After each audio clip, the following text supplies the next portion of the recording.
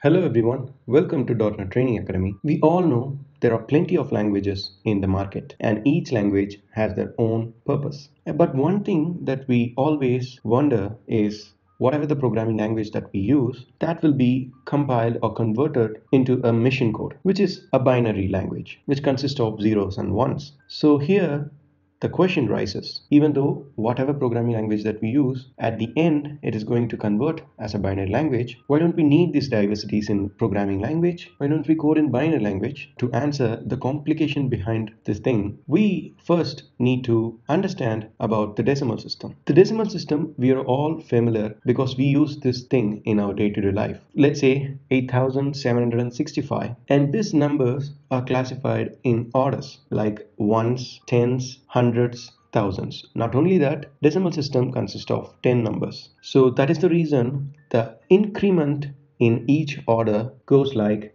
10 to the power of 0 which is equal to 1, 10 to the power of 1 which is equal to 10, 10 to the power of 2 which is equal to 100, 10 to the power of 3 which is equal to 1000. So this is all about the decimal system. But what about the binary system? In binary system, unlike decimal system, in binaries we just use two numbers which is zeros and ones. So this is the basic chart of binary system and in this we don't use 10 to the power of something. We use 2 to the power of 0, 1, 2, 3, 4, 8, 16, 32, 64 and it will goes on up to the numbers. So in binary system just using two numbers we can calculate almost everything.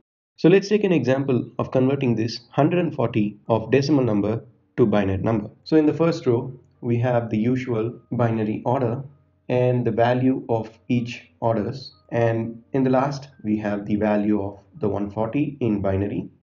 And how do we calculate it? So to understand this we can split the 140 in 3 which is 128 plus 8 plus 4 and those three are the numbers which are available in this particular chart. So wherever those numbers are presented we need to put 1 over there. And the rest of the orders will be assigned as 0 so the next question is, can't we use alphabets or any other symbols in binaries? Yes, we can.